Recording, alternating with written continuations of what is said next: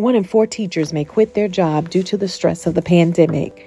Teachers are trying every day to adjust to the new normal of preparing in person and virtual lessons, working with students, calling parents, and let's not forget protecting themselves and their classrooms against COVID 19. This is causing a negative effect in the field of education.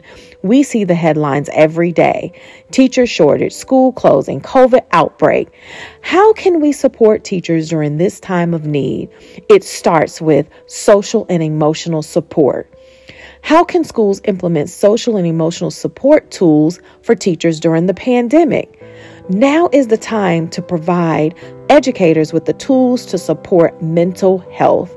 Let's change the conversation in education. It can no longer be about preparing engaging lessons only. We need to make sure our teachers are strong mentally.